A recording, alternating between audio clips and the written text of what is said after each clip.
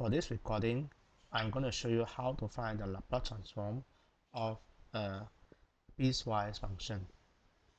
We are given a piecewise function f of t equal to t for t between 0 and 1, and equal to 2 for t between 1 and 3, and equal to 0 for t greater than 3.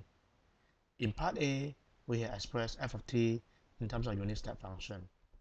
Now in part B, we are going to find the Laplace transform of f of t.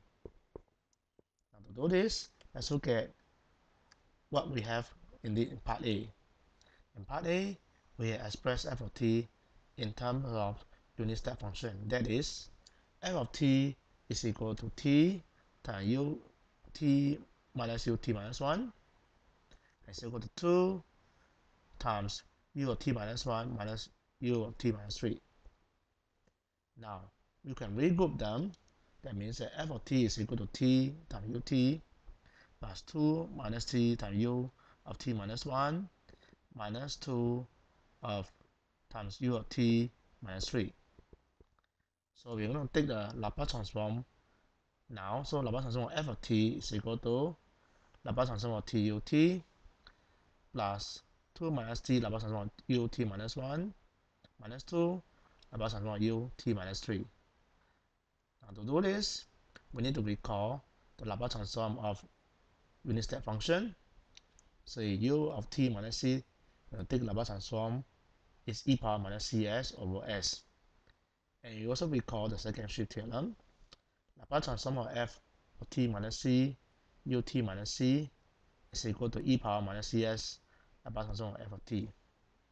We are going to use this for the first term and second term for using the to use the second shift, and the third term is just Laplace transform unit step function. So let's proceed now. In order to do this, first term Laplace transform of t u t. So you just compare with the formula Laplace transform of f t minus c u t minus c is supposed to be e power minus cs Laplace transform of ft. So when you make the comparison, we have that c must equal to 0 now. So f of t is equal to t now because c is equal to 0. So you can write down answer as equal to e power minus 0s Laplace transform of f of t with t now. And we know that e power 0 is 1. Laplace transform of t is 1 over s squared. Alright, so this take care of the first term. Now let's look at the second term. The second term is Laplace transform of 2 minus t u of t minus 1. So you can compare. So here c is equal to 1 and f of t minus 1 now is 2 minus t. So if you replace t minus 1 by t, so f of t in this case is equal to what now? So you have made a substitution. That means that this dark black t now is a red t minus 1.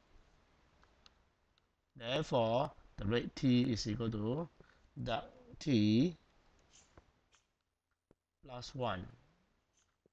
So you can do it this way. So this is equal to f of t is 2 minus this red t is dark t plus 1. So this I'll give you. This is equal to 2 minus 1 is 1 so 1 minus dark t now.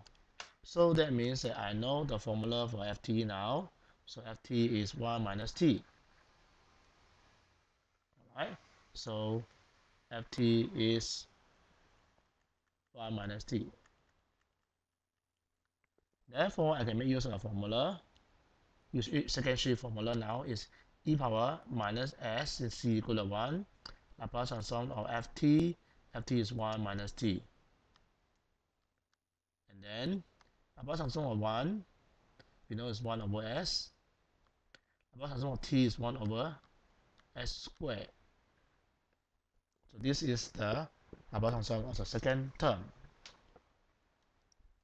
So I have completed the Laplace transform of the second term. And I also completed the Laplace transform of the first term. Now let's look at Laplace transform of the third term. Laplace transform of the third term is in this case is Laplace transform of u t minus 3 and we know that Laplace transform of unit step function in this case is e power minus c s over s. So in this case, c is equal to 3 now. So you can copy the formula. This is equal to e power minus 3s over s. This is Laplace transform for the third term. So putting it together, so Laplace transform of ft okay is equal to Laplace transform of tut and u of t minus 1 and minus 2 Laplace transform of u t minus 3 1 over s squared the second term we have found out that is equal to e power minus s